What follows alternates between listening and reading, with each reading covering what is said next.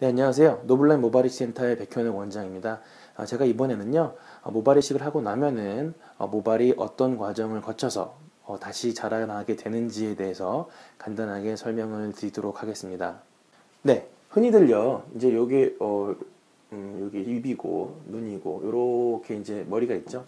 뒤쪽에 있는 모낭을 뽑아다가 앞에다가 옮겨 심는 모발이식을 하게 되면은 뭐 흔히들 이렇게 곧바로 자란다고 모발이 모발이 자란다고 생각하시는 분들이 많은데요. 그렇지가 않습니다. 이게 수술을 하고 난 다음에 수술하고 난 다음에 한 3주 정도까지 3주 정도까지는 어, 모발이 자라 올라오다가 3주 정도부터 이제 모발이 저희가 심은 게 빠지기 시작을 합니다. 이때부터 이제 환자분들이 긴장을 하기 시작을 하시는데요.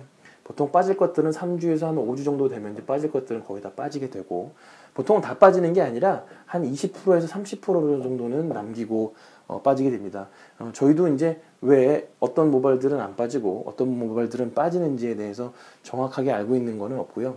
어, 어떤 분들은 한 50% 정도 남기고 다 어, 빠지시는 분들도 있고요. 어떤 분들은 하나도 안 빠지고 그대로 자라는 분들도 있고요.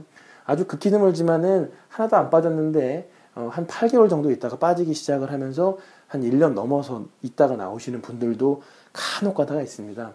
하지만 대부분은 한 20, 30% 정도 남기고 빠졌다가 어, 나중에 올라온다는 거고요. 그 다음에 이제 이 초반에 얼마나 빠지느냐, 20, 30%인지 아니면 모든 게 다 빠지는지 뭐반 정도 남기는지 이런 거에 따라서 최종 결과에는 영향을 미치지 않으니까요. 어떤 상황이 되더라도 어, 너무 불안해 하실 건 없다라는 겁니다.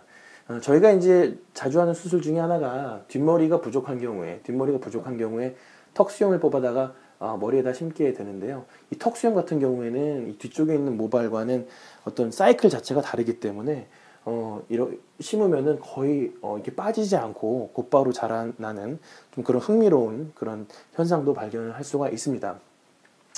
그래서 이제 이 빠진 다음에 한 대략적으로 3개월 수술하고서 3개월 하고 한 3주 정도 지나는 대략적으로 한, 한 110일 정도 되는 요 기간이 되기 전까지, 요 전까지 머리가 올라오질 않거든요. 그래서 요때 기간을 이제 암흑기라고 부릅니다. 암흑기. 아주 그냥 암울하다는 거죠. 어, 심고 큰 돈을 들여서 모발 이식을 했는데 머리는 나오진 않고 불안하고 그런 시기가 되는 거죠.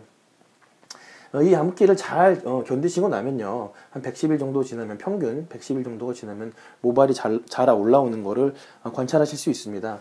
그래서 저희가 한 6개월 정도 지나면요. 6개월 정도 지나면은 대략적으로 저희가 심은 거에 60%에서 70% 정도 어떤 분들은 좀 더 올라오시는 분들도 있고요. 어, 이, 이, 정도 올라왔다고 보실 수 있고요.